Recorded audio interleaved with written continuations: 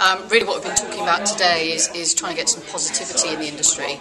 And I think for, for young dairy farmers, uh, what they need really is the, uh, the willingness to innovate um, and to accept change, uh, which we've seen really young dairy farmers are embracing, uh, but also just to keep up to date technically uh, and to make sure that they're, they're seeking out information to help them make positive change.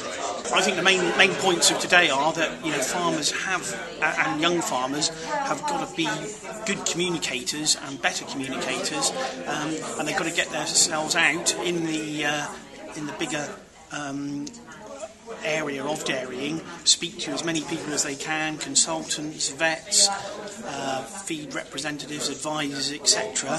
Um, if they want opportunities, um, they are there, but they are they've got to be fought for and they've got to promote themselves to get there. But it, it's a great industry, and it, it is certainly going to move forwards.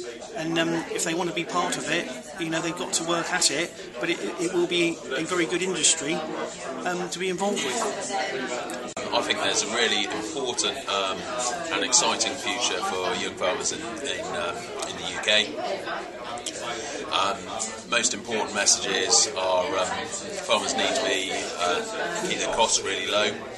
Um, make sure they you know maximise the use of their milk contracts, um, run a very efficient business, uh, make sure they communicate well, um, you know, with milk buyers, staff, and all the associated people, you know, nutritionalists and consultants, etc., in order to um, run a very effective um, business.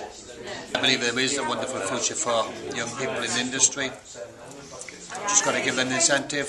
Food production is going to be a necessity going forward. Just got to make sure that the, that the young next generation are well paid for their efforts.